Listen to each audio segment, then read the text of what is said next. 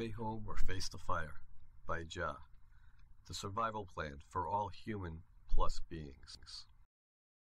Chapter 3 The Creation of Human Animals Many of you say, Why doesn't God talk to me? He does, to each and every one of you, but you don't listen to Him.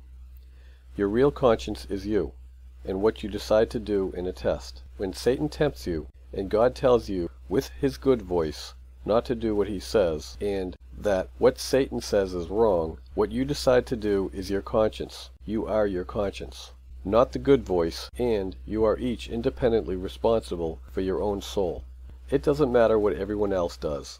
They are not responsible for your soul. You are. They are responsible for theirs, whether they believe it or not. Satan talks to your animal body and has deceived you into thinking that you are no more than a crude, smelly animal with obscene body functions when you are really spirit and only temporarily imprisoned in the crude animal body that you are using at the moment, which has to eat, go to the toilet, get old, wrinkled, and die, etc. You seem to want to believe Satan and that you are no better than a smelly animal. You don't seem to want to be divine again. Satan tries to talk you into enjoying what feels good physically to the animal Example, sex, egotism, materialism, selfishness, competition, superiority, the inflicting of pain, killing, beating, depravity, perversion, etc., to try to get you as low as he is, so that you will never be able to go home, and he is the serpent, always eating dust, as low as you can get. Genesis 3:14. And the I am Yahweh God said unto the serpent, because you have done this, you are cursed above all cattle, and above every beast of the field. Upon your belly shall you go, and dust shall you eat all the days of your life. You, being really spirit, will never get true and lasting joy or satisfaction from animal pleasures, as nice as they can be. It is self-defeating and a vicious circle. The more you try, the more you feel you need, the worse things become. A perfect example of this is nymphomania, where the subject confuses love with sex, which, being animal, does not bring true satisfaction and spiritual fulfillment. Satan then, from within, deceives them into thinking that, if they get enough sex, they will be fulfilled, and they try desperately to get enough sex. Unfortunately, Satan is a liar, and has tricked them once again, and they run around desperately in a vicious circle. The more sex they get, the less fulfilled they feel, so they try even harder and harder, becoming more and more lost, lonely, desperate, and confused. You are not an animal, you are spirit. Animal pleasures alone will never satisfy your souls, your need for spiritual love and fulfillment. God, the source of all spiritual love, God is love, is the answer to every question, problem, or illness in your life. Once you have found God and acknowledge Him as your Father, you automatically have the solution to every problem and illness, so long as you have direct contact and do what he tells you to do, his will.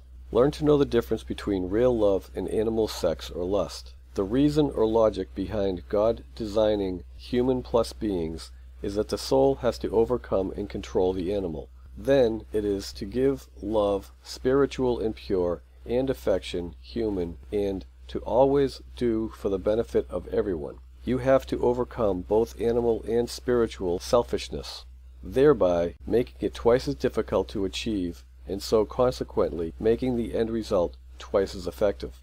This was the demonstration given by Jesus on the cross when he controlled the animal that he was temporarily using, which was made by Mary's body with God's help, and then used it for the benefit of everyone on earth by taking upon himself the sins of the whole world. He controlled it and used it to the extent that he voluntarily suffered the agony of the cross, giving up his human life to show the ultimate example, destroying the self with perfect control, voluntarily for the benefit of others. The perfect example of unselfishness, you must learn that degree of control.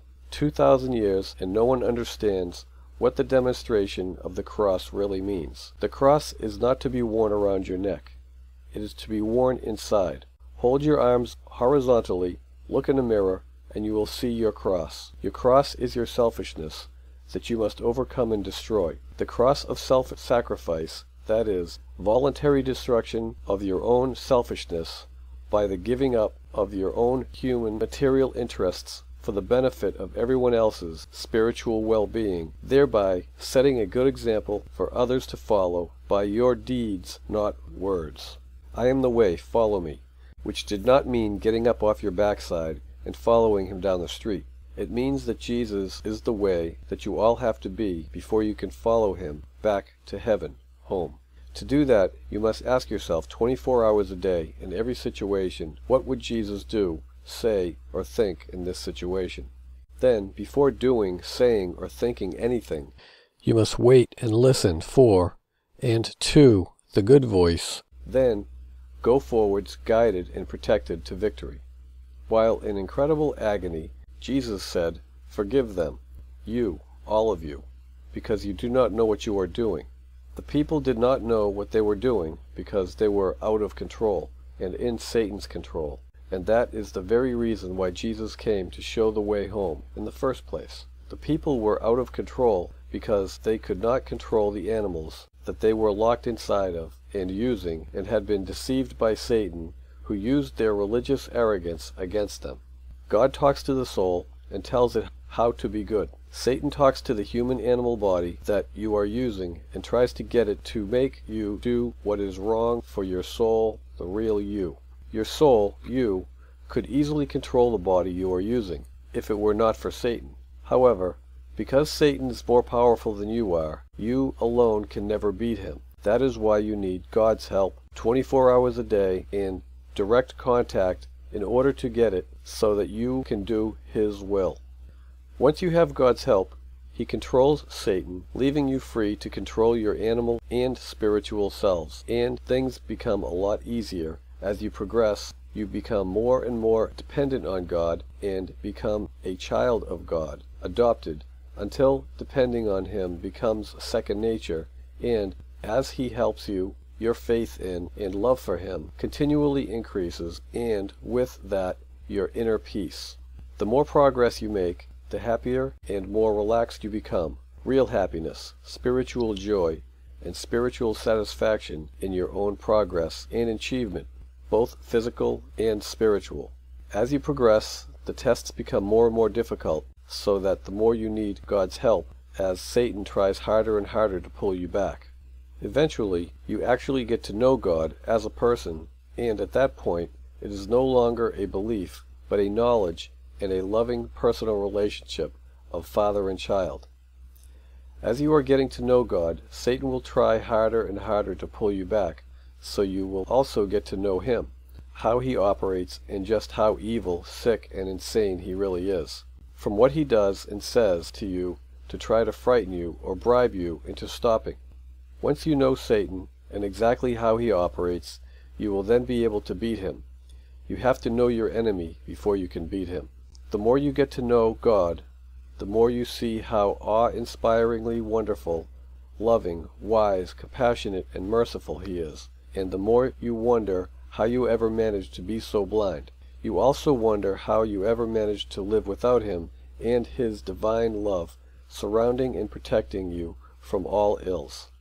You will then learn to love and enjoy doing His will, and receiving reward ever increasing spiritual and therefore true happiness, joy that no man can take away from you. Then you will be so full of love, peace, and joy that you will actually know what it feels like, therefore the true meaning of my cup overflows, runneth over, and fully understand and live Psalms 23. A Psalm of David. The I am, Yahweh, is my shepherd, and I shall not want. He maketh me to lie down in green pastures. He leadeth me beside the still waters. He restoreth my soul. He leadeth me in the way of righteousness for his name's sake. Yea, though I walk through the valley of the shadow of death, I will fear no evil, for thou art with me. Thy rod and thy staff, they comfort me. Thou preparest a table before me in the presence of my enemies. You anoint my head with oil, my cup runneth over. Surely goodness and mercy shall follow me all the days of my life, and I will dwell in the house of the I am Yahweh forever. It is wonderful beyond words to stand or live in the valley of the shadow of death and fear nothing and no one, knowing that as long as you believe he will protect you, serenity is not freedom from the storm, but peace, brought about by true faith amidst the storm. This kind of peace and joy is not temporary and fleeting like silly human peace and happiness. It is eternal, like your soul, providing you survive the last day, and no one can take it away from you, except you yourself, if you lose your faith. The Torah, the New Testament, and the Koran are not religious books.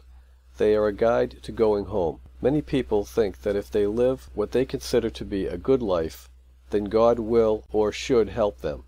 It does not work that way, because only God knows what is good. You are bad, or you would not be here, and so is your judgment. If you do what you think is good, it is usually wrong, not only for yourself, but for those around you, and the good of all. God being unselfish, always does what is best for all concerned, and not just for one individual. What you think is good may be good for your body, but not for your soul, which is actually the real you, the only thing of real importance. Why do you think God went to all this trouble to try to save your soul instead of just executing you if you are only a human animal that has to die anyway? The Lord sent you here, and He is the only one who knows exactly what each soul has to learn, on an individual basis, and therefore He is the only one who can teach you. That is why organized religions are totally wrong, because they build a wall between you and God, preventing your direct contact and your free thinking and reasoning process. This is exactly what Satan wants, and that is why he invented organized religions. Never underestimate Satan.